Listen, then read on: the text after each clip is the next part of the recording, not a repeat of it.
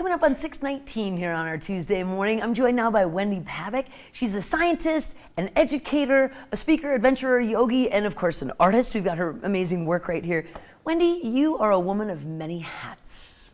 Yes, I am. And I love that about you. You've got a great show coming up. I love the fact that you've taught at MIT, you've been around the country, you've been around the world. So let's talk a little bit about you, your art. How did you get into it? And, and you know, all these different places that you've drawn your inspiration. So tell us a little bit about Wendy. Well, thanks. So, um, yeah, so I'm a water scientist. I grew up on the ocean, so I was always fascinated with the ocean and the water and sort of the, the patterns and forms, and, and that kind of drove me to study water. Um, and it also inspired my art. I've been an artist since I was a small child.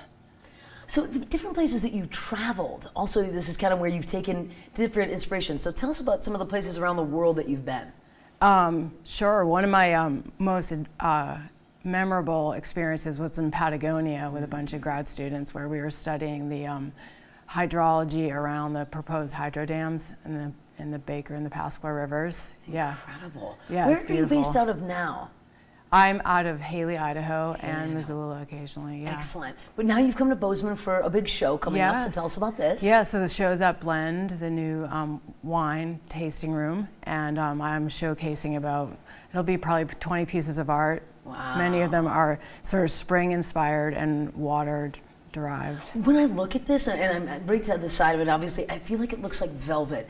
The different way that you do the color and the textures. I mean, honestly, it, it looks like it's velvet on canvas. Am I crazy for saying Well, that? Well, there's some oil pastel in there too, so that gives it some of that texture. It's incredible. Thank you. So Blend is this awesome new wine bar that opened right on the corner of Babcock and Willson. Yes. And so tell us about when is the show and when can we come see it? It's on Thursday from 6 to 8 this week. And yeah. it's free and open to the public? Absolutely. Wendy, Free wine people- too. And, and free wine too. Okay, well there you go.